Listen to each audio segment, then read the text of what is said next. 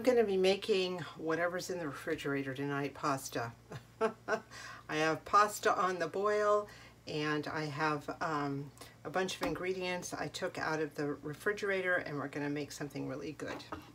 This video is part of a collaboration named Quick and Easy Meals and it's hosted by the Grace Life DIY Home Decor, Deborah Cabassa Home Living, Jean Home Decor, and more.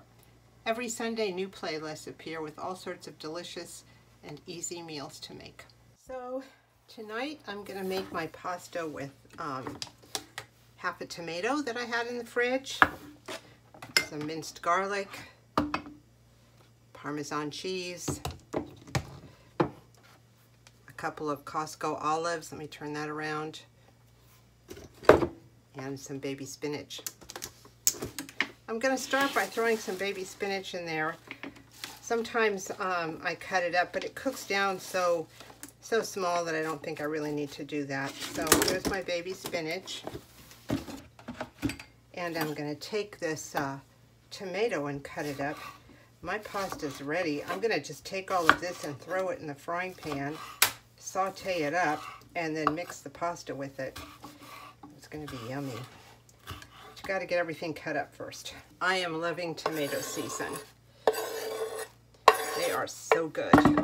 Now I'm going to grab a couple of olives and chop those up. I like the salty flavor this is going to bring to it. Uh, four is enough. Ah, that'd be crazy. Let's do five. I'm just going to slice these up and throw them in. I'm going to put a spoonful of, uh, heaping spoonful of garlic. I'm going to get the frying pan warmed up. I'm going to saute this a little bit and then mix it up with the pasta.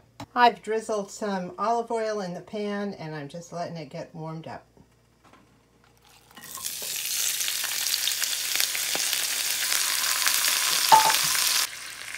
I'm just going to let that cook down, stirring occasionally until everything's cooked through.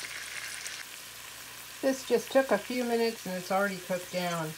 And I'm going to tell you, no matter how much spinach I put into a dish, it's never enough. I keep forgetting how much it shrinks. So I'm going to go grab the pasta and throw that in. And now we just mix it all in. So while continuing on the low heat, I'm going to continue just mixing the pasta and the vegetables together so all the pasta and all the vegetables are together. This is a lot of food. I think it's going to end up being two nights meal for me. So here it is ready to go.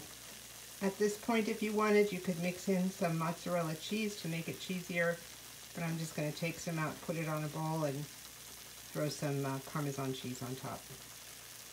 Anyway, this was a quick and easy meal for me and delicious. And uh, I'm looking forward to eating it. Thank you so much for watching.